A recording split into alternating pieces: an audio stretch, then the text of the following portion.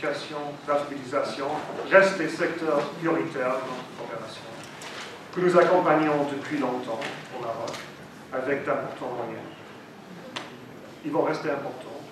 Nous voulons promouvoir une société plus égalitaire, avec un accès aux services pour tous les citoyens, car c'est fondamental euh, pour l'avenir du pays, pour sa stabilité et pour sa croissance. En 2014, nous avons signé deux programmes, l'un sur l'éducation, de 90 millions d'euros, et l'autre sur la couverture médicale de 50 millions d'euros. Nous avons également préparé un nouvel appui sur la santé de 90 millions d'euros qui sera signé cette année. La gestion de ces défis sociaux restera durablement notre priorité.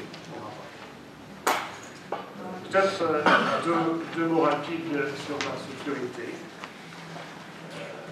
Hélas, c'est un domaine qui demande de plus en plus de notre attention.